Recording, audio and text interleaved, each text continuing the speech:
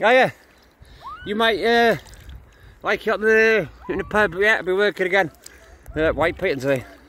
But look, um, I'm looking out towards Penllyn in that way from uh, near Rhosneigr by Cable Bay's over there. Full of COVID, so I've come to this quiet place.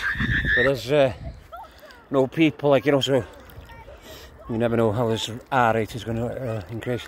But you know, uh, again, so being sober is about. I know I'm. You might think I'm going on about it, but at the end of the day, it's amazing, you know.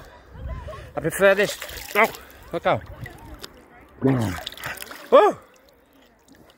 I prefer this water, the sea water in my face, than having a glass of lager or a glass of wine.